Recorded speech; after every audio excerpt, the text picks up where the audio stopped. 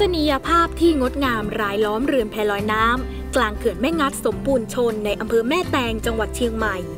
สวยงามเหมือนดังภาพวาดในจินตนาการของใครหลายคน ที่มุ่งหน้าเดินทางมาที่นี่ เพื่อใช้เวลาพักผ่อนหย่อนใจ ท่ามกลางธรรมชาติที่โอบกอดไว้อย่างภาพที่เห็น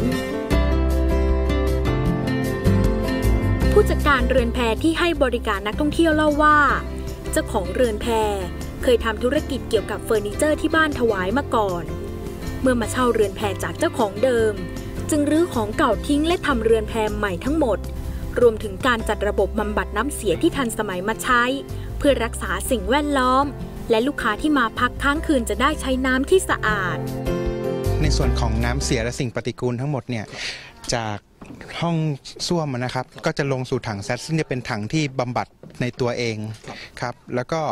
จะไม่มีการปล่อยของเสียใดๆเนี่ย ตรงสู่แหล่งน้ำเลย มันจะเป็นถังที่บำบัดในตัวเลยครับ เราเติมสารเคมีลงไปเท่านั้นเอง นักท่องเที่ยวที่มาพักแรมที่นี่บอกว่า มาพักเรือนแพแล้วประทับใจ เพราะนอกจากจะได้สัมผัสธรรมชาติทั้งภูเขาและน้ำในเขื่อนที่ใสสะอาดแล้ว บ้านพักหรือเรือนแพก็สะอาด เหมือนพักในโรงแรมที่มีระดับในตัวเมืองเชียงใหม่ ถือว่าเป็นอีกระดับหนึ่งของของการมาพักผ่อนหรือจะมาสัมมนากรุ๊ปเล็ก ๆ ซึ่งเราถือว่าที่นี่มีระดับนะครับ เนื่องจากว่าเอ่อเรื่องของความสะดวกสบายแล้วก็เรื่องของเออการบริการนะฮะค่อนข้างจะถือว่าดีเยี่ยมนะครับ นอกจากจะมีเรือนแพที่มีคุณภาพระดับโรงแรมชั้นนำแล้ว ภายในเขื่อนแม่งัด ยังมีเรือนแพหลากหลายราคาไว้คอยบริการนักท่องเที่ยว ขณะเดียวกัน นักท่องเที่ยวยังจะได้สัมผัสวิถีชีวิตของชาวแพในเขื่อนแม่งัด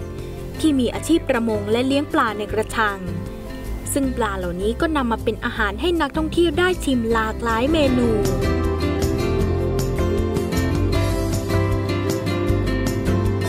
เขื่อนแม่งัดสมบูรณ์ชนตั้งอยู่บนลำน้ำแม่งัด สาขาแม่น้ำปิงอำเภอแม่แตงจังหวัดเชียงใหม่